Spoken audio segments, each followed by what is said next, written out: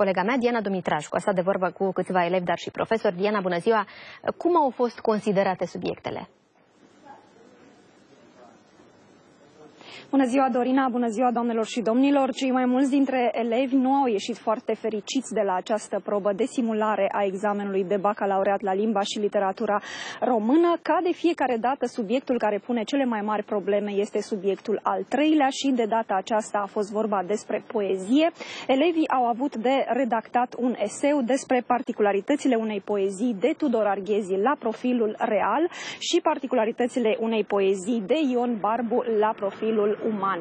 Cei mai mulți dintre copiii cu care noi am stat de vorbă, așa cum spuneai și tu, se așteaptă la note de 7 și de 8, ceea ce este foarte interesant în contextul în care aproape toți au spus că fac meditații, chiar și două, trei pe săptămână.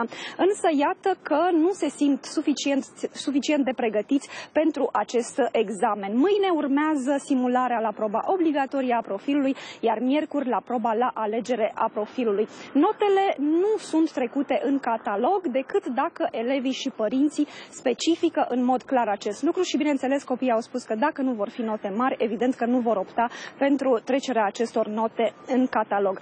În uh, altă ordine de idei, a mai rămas foarte puțin timp până la examenul de bacalaureat, așa că cine nu se simte pregătit mai are puțin timp la dispoziție pentru a recupera materia, Anul acesta examenul de bacalaureat este programat în perioada 21-23 iunie și rezultatele acestui examen sunt extrem de importante în condițiile în care de la an la an tot mai multe universități din țara noastră optează pentru uh, admitere pe bază de dosar și renunță astfel la examenul de admitere. În afară de medicină, politehnică sau arhitectură, din ce în ce mai multe universități pun preț foarte mare pe nota de la examenul de bacalaureat a picat arghezii.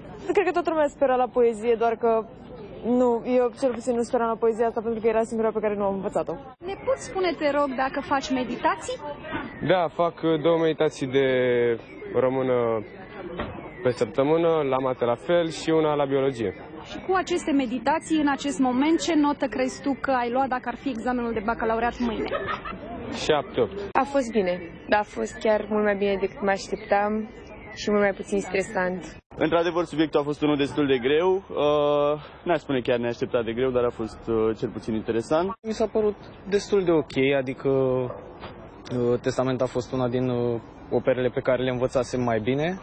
Eu oricum scriu destul de urât, adică s-ar putea să pierd pe partea asta, dar în rest eu zic că ce am scris, am scris bine, nu știu. Sper nouă,